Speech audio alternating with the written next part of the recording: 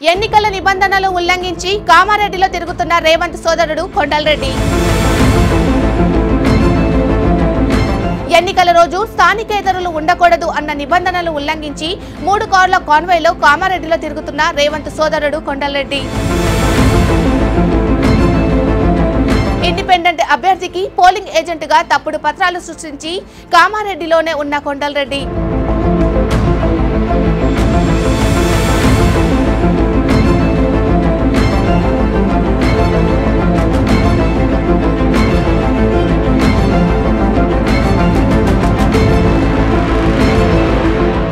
కార్ల కాన్వాయ్లో యథేచ్ఛగా కామారెడ్డిలో తిరుగుతున్న కొండలరెడ్డి. గమనించి నిలదీసిన స్థానిక బీఆర్ఎస్ నాయకులు నాన్ లోకల్ మనిషివి నువ్వు ఇక్కడ ఎలా ఉన్నావని వాగ్వివాదం.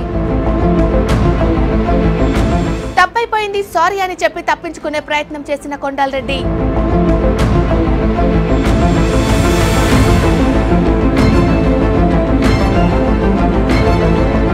ఆయన కార్లు సోదా చేసి పోలీస్ స్టేషన్కు తరలిస్తున్న పోలీసులు. Thank you.